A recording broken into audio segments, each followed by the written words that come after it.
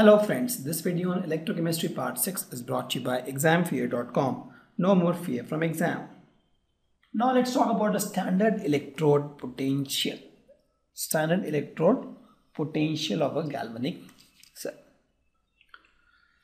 So to understand the standard electrode potential of cell, first understand the standard electrode potential of half cell. Because that is more important and with that only you will get the standard electrode potential of the whole cell. So to understand the standard electrode potential of the whole cell, just see this half cell. Just see this half cell. Let's suppose I am seeing this half cell now. So if you see this half cell, focus only on this half cell, right? So if you see, there is an electrode here and there is an electrolyte here. This is an electrolyte and this is my electrode. In fact, you see here also we have electrode and electrolyte. We are focusing only on this part, right? So at this, at each of this interface, at this interface I'm talking about, right? So there is a tendency of metal ions from solution to deposit on the metal. So there is a tendency of copper plus in this solution, right? To get two electrons somewhere to get electrons from this wire coming back right? Merge these form a copper form copper and get deposited here right? So copper plus is nothing but copper sulfate so copper's copper ions from the copper sulfate is a tendency to form copper. In this case here reverse scenario there's a tendency of zinc from this metal to become Zn2 plus and give electrons. Correct? So there is a tendency here to become Zn zinc ion from zinc and here there is a tendency to become copper from copper ion.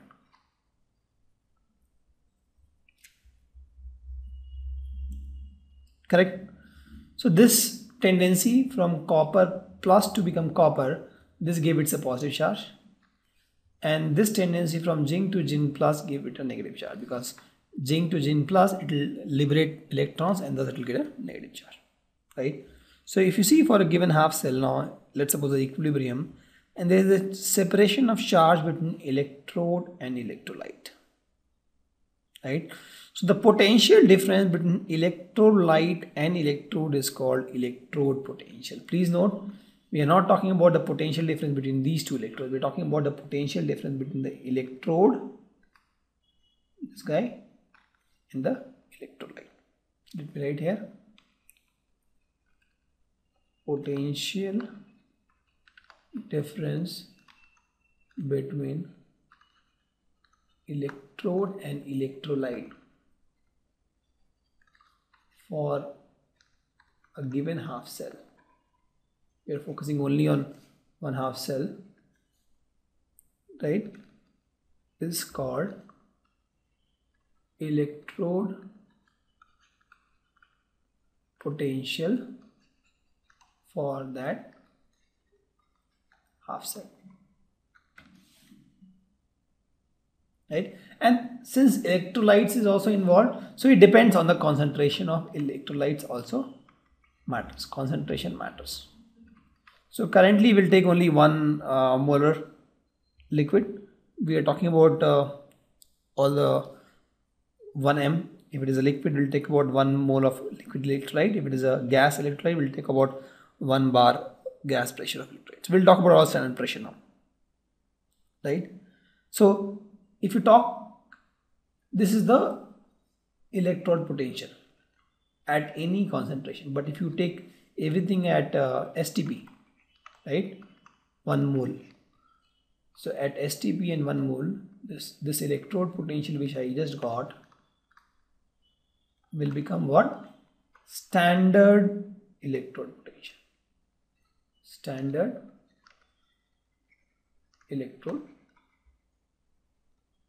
potential correct so we have something called electrode potential that is nothing but the potential between electrodes and the electrolyte for a given half cell that is nothing but electrode potential for, a, for that half cell. Similarly, if you take if this uh, concentration can be 2 moles, 3 moles, can be any moles, right? The temperature can be anything, the pressure can be anything. But if you standardize those values, you just take 1 m, you take to 98 Kelvin temperature. So at that uh, specific uh, Uh, values, right, at STP, whatever electrode potential you will get is that becomes the standard electrode potential for that particular half cell. Correct? Now again there is a confusion actually. See here we are having reduction, here we are having oxidation. Correct. So again in, in if you say standard electrode potential or electrode potential, are you referring to reduction or are you referring to oxidation? We have to choose one else it'll, it'll be a confusion, it'll be a, a chaos actually when you solve problems because the, one will have negative sign, one will have positive sign, it'll all confusion. So what happened is to, to avoid all the confusion, the IUPAC come, came with a convention. It told that standard reduction potential, reduction potential will be called electrode potential. Will be called standard electrode potential.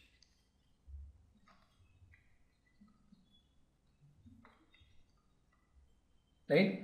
So it is reduction now which will be called as electrode potential. So for example for this i got some value. I'll just keep it like that only. But for for this i got some value. So whatever value i got some volt right for example this i got x volt that is correct because that is my reduction potential. Here if i got oxidation potential as y volt then my electrode potential will be minus y volt. Because flip it. Because now we are saying that it's always note here standard reduction reduction potential is the one which has become electrode potential that is official. And remember this rich people rule right? Because if you see this rule is made by rich people at IUP, IUPAC so rich is what? Reduction P is potential. So reduction potential has become electric potential right? So the rich people has selected reduction potential as the standard potential. So memory to remember if you want you can take it or you can ignore it also so that is the point i'm trying to convey here so when you talk about the reduction potential that has become that has become an electrode potential now as per IUPAC now. And that's again why IUPAC has chosen, we don't know. They just chose it and we have to stick to it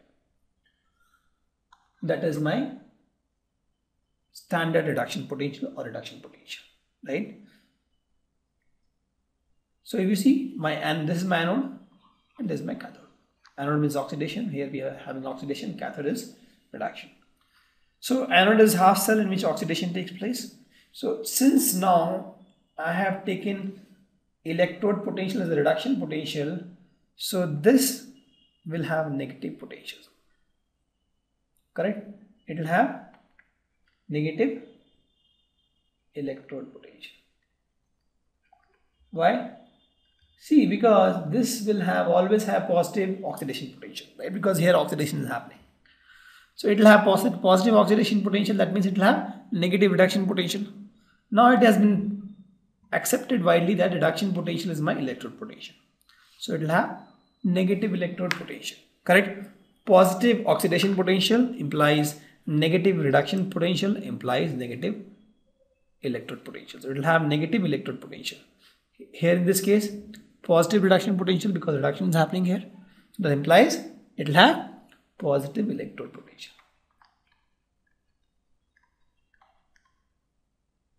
So hope you understand what I'm trying to say.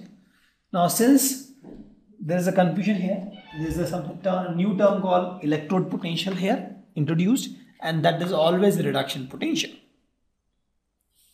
So in reduction half, reduction is happening, so reduction potential is positive. Since reduction potential is positive, my electrode potential will always be positive. In the oxidation half, since the oxidation is happening, oxidation potential will be positive. That means reduction positive will, potential will be negative. Reduction potential is negative, that means electrode potential will also be negative. right now if you see there is a potential difference between these two electrodes right the moment you turn on the switch the current will flow. Right? The current will flow from the electron will flow from anode to cathode and the current will flow in the reverse direction. Right? So this potential is called electrode potential of cell. So electrode potential potential of cell is nothing but E of cathode minus E of N.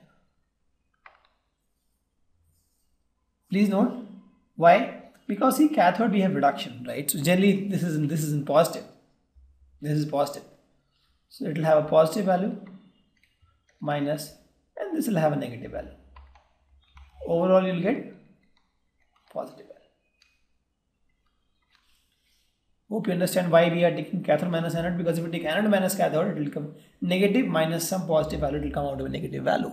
So it will be, uh, you, you have to say that my uh, electrode potential is minus 7.1 volt for a battery, it doesn't look good. So again, this is also by IUPAC. This is what IUPAC has given this. That electrode potential of a cell is E cathode minus E anode. Correct? So that is what we have learned in this slide that my electrode potential is nothing but reduction potential as per IUPAC for a given half cell. So the electrode potential of a cell is nothing but electrode potential of a cathode minus electrode potential of anode. And please note, when you talk about electrode potential, I'm talking about the reduction potential. Don't take oxidation potential here, right? Because I'm talking about electrode potential. That is nothing but reduction potential. So we'll always take reduction potential only just to avoid any confusion. So as I told that the potential difference between two electrodes in a galvanic cell is called cell potential. Right? And that is nothing but uh, electrode potential of my cathode minus electrode potential of anode. This has positive value this has negative value. So overall it comes out to be positive value. Correct? And it is measured in volts. And I told why it is measured in volt because it is in the honor of Alexandro Volta's. Right? So the cell potential is the difference between the electrode potential of or nothing but this is nothing but the reduction potential as I already mentioned of cathode and anode. Please note it is cathode minus anode, not anode minus cathode. Correct. So it is this value is called electromotive force when there is a condition here. So now this value will be called EMF or electromotive of electromotive force of the cell when no current is drawn from the cell. Please note this value is called electromotive uh, EMF when there is no current. For example, in this case, now there is a current drawn, right? So we, this is not EMF. If you apply some voltmeter here, you won't get EMF. But in this case, since there is no current that is being used. So whatever V you get becomes the EMF of the cell. Right? When I say EMF of the cell that means the cell potential of the cell when there is no current drawn from the cell. Right? Now there was a confusion right? some people used to keep anode on the left cathode on the right. Some people used to do the other way around. Some people used to keep cathode on the left anode on the right and there was a confusion. So again, IUPAC name came with the con convention that anode will be on the left and cathode will be on the right. A good memory tip is AC, air condition. A come first, C come first, C come next, right? Air condition runs on what? Electricity. I mean, the other time is you get a CA. There is no link of CA and the current. So you know that. AC, you know that AC runs on electricity. So there is a link here. Anode on the left, cathode on the right. Right? This is a uh, representation actually. Anode always has to be on the left and cathode always has to be on the right as per IUPAC. Now the galvanic cell is represented by putting vertical lines between the metals and the electrolyte. So for example, I have a metal. I'll put a vertical line I'll put electrolyte. This will be for the anode. And then there will be another electrolyte for the cathode. I'll put a double vertical line. I'll put an electrolyte here. And then there will be another metal in the right side. Example, it will be metal zinc here I have zinc sulfate here I have electrolyte copper sulfate and here I have metal copper so if you see B is my sorry this is C yeah. Right? Anode I have zinc and zinc sulfate. Zinc and this is my zinc sulfate. And cathode I have copper and copper sulfate blue solution so this will I'll represent as zinc solid. And this will become Zn2 plus that is an aqueous mode and there is a double slash Cu2 plus aqueous mode and then I have copper solid. So that is the representation of a galvanic cell. Anode come first and then cathode. Correct? So this is a representation for this Daniell cell actually. Daniell cell is also nothing but a type of galvanic cell. So using this convention, let's suppose I have to find the EMF of the cell, right? So EMF of the cell is always positive. So EMF of the cell will be what? E of cathode minus E anode. Uh, you can also say E right minus E left.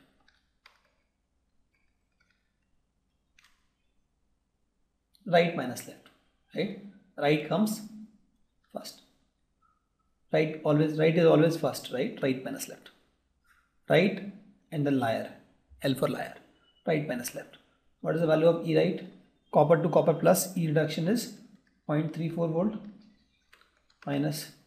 For this for this if you see zinc to zinc plus the oxidation E of oxidation of zinc to Zn2 plus is plus 0.76 volt but we are looking for E of reduction from Zn plus to Zn correct?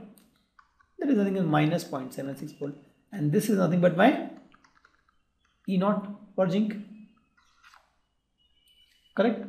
And that is nothing but minus 0.76 volt.